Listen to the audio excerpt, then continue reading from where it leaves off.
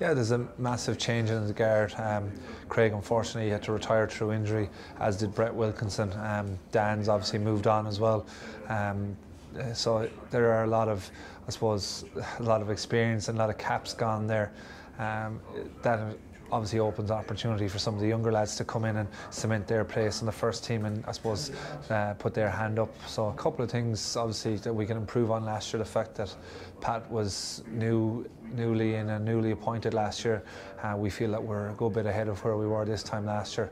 Um, obviously there's uh, a good a good balance of the squad have remained there. And, uh, we're used to Pat, and we know the, the structures that he's put in place all of last year. So we're a good few steps ahead.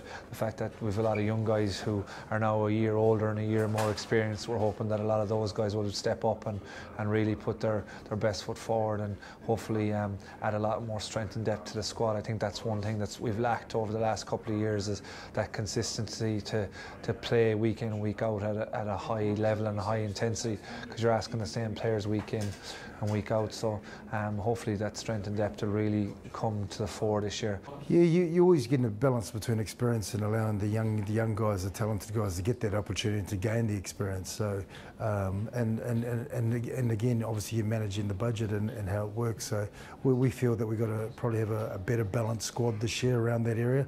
That we've got a couple of key experienced guys, but we've got some exciting talent coming through. And uh, this is this is the year for those guys to get their opportunity and hopefully take it.